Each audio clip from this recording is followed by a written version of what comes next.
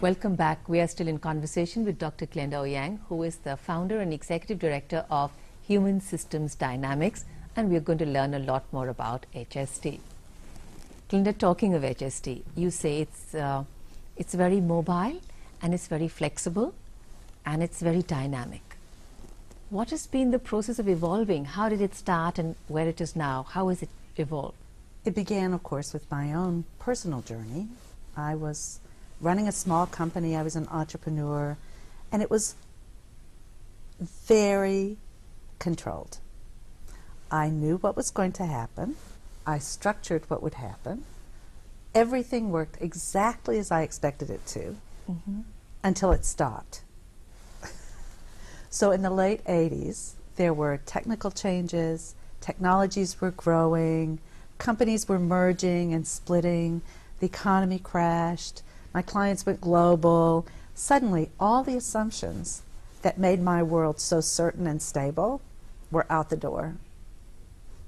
And so my business practice and the things that had intuitively worked for me before Mm-hmm. were no longer effective.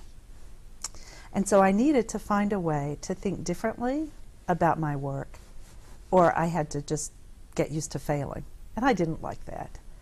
So I looked at multiple management literatures about what it meant to be an entrepreneur, and some of them were too directive Okay. and strong and deterministic. They said you should have a, mi- a vision and you should not sleep until it's done, the courageous leader picture. Mhm. And then the other extreme was a little soft. It was just support things and let them emerge and it will work and everything will be fine. And my business partner and I looked at those two and said, neither of those works all the time. We need both of those sometimes, and neither of them all the time. And that was the birth of HSD. We found in complexity science a theoretical explanation that says yes, sometimes nature is structured and tightly coupled and predictable, Okay. like a rock.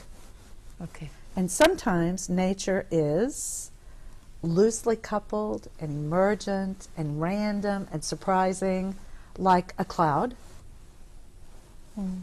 And most of the time, it's somewhere in between. True.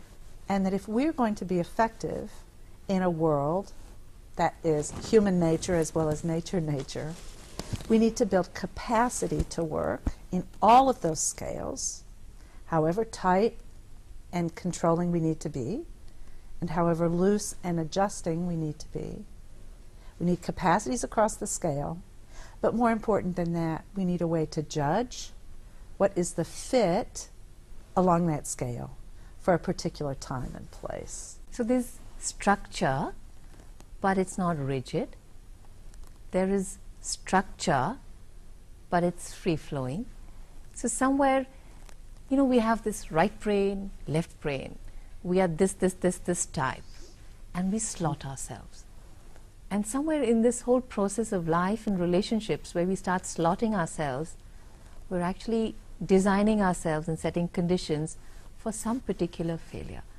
And I think you're saying it's okay, you are a structure, you're a system, but you have to be open.